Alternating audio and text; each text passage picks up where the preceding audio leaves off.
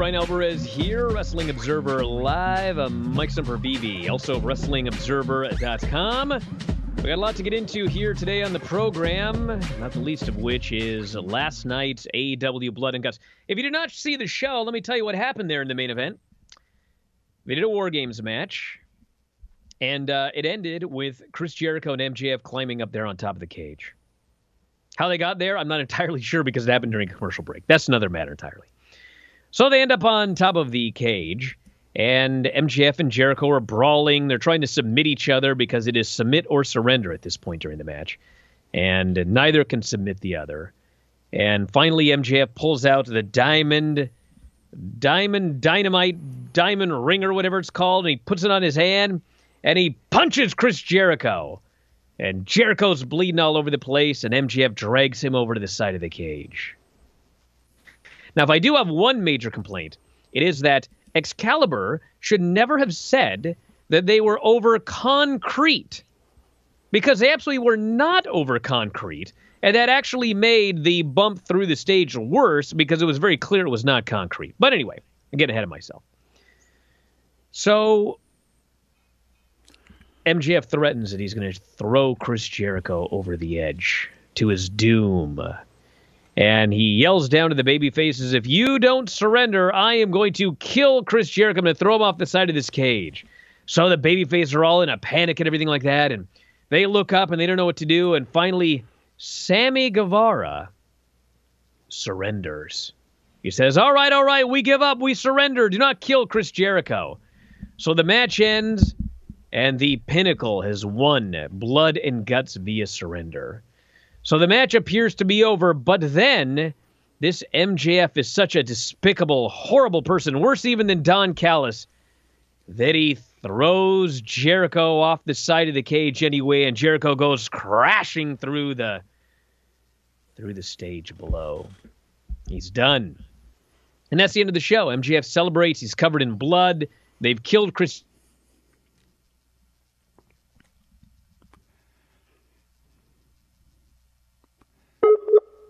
and and this, so, that, and the other thing. So here's my takeaway from this. Actually, before I give my takeaway, Mike, do you have any comments on this match and the finish? I want to hear what you've got to say about this.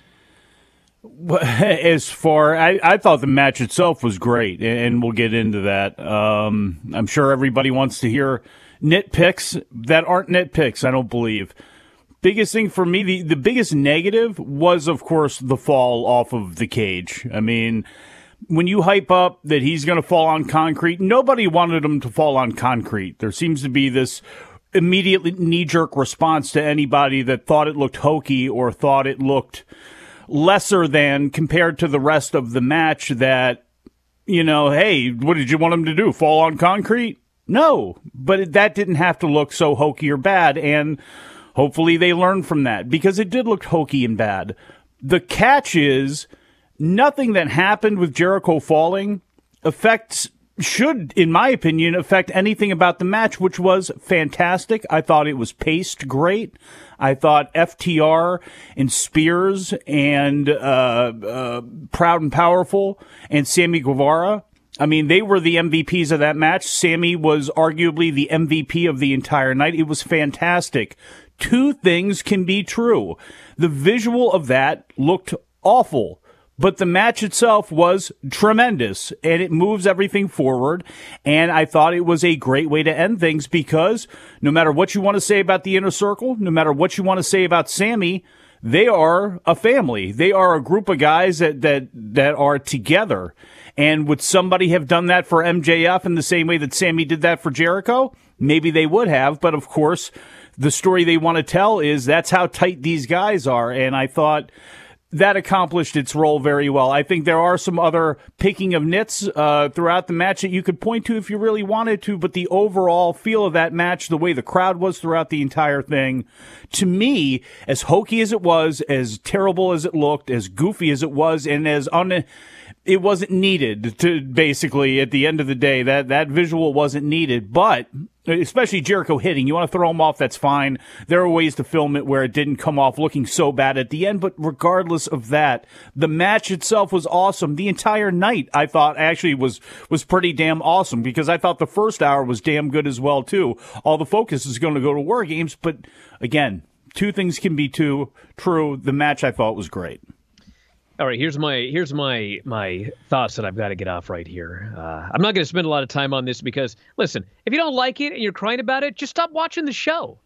What it what irritated me about this was people that went off and they said, "Oh my God, if WWE would have had such an obvious crash pad, you would have complained about it."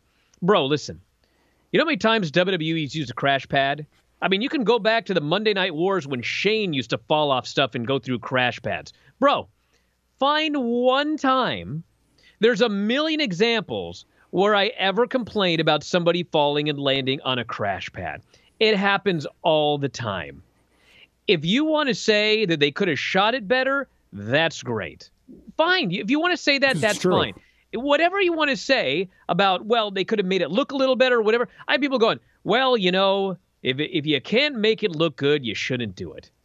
It's like, bro, if that's the rule, I can rattle off a list of matches and promos and angles and a million different things that shouldn't be done. If your if your requirement is if you can't make it look good, don't do it.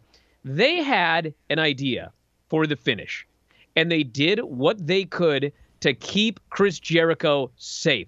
I say the same thing about Shane McMahon. I say the same thing about anybody that takes a crazy bump.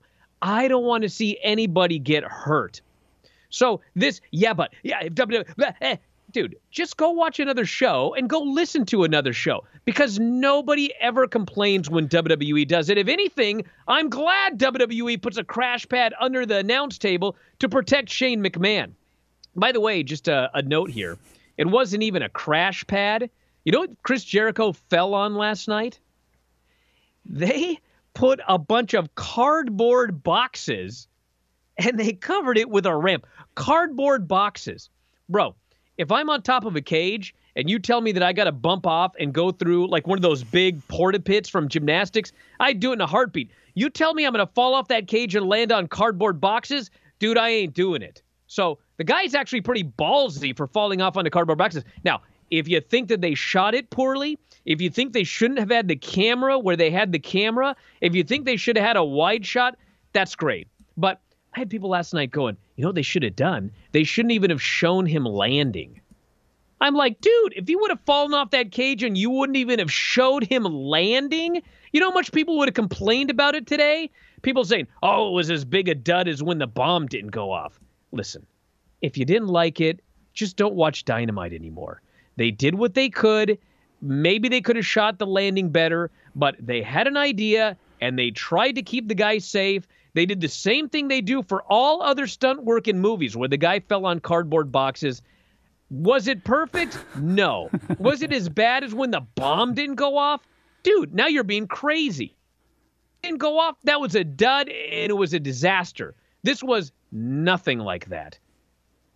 I agree with you. everybody it was not a dud or a disaster. That's silly. But with that said, you can't go, well, they use it in movies. They also don't show the, the, again, yes, they, yes, you can argue they could have shot it better. That is, unquestioned. There, there's a way they could have went about it where the visual, I'm sure they would change that again. But you can't fault anybody for pointing that out. Now, should it ruin their night? No, but I'm not inside anybody's head.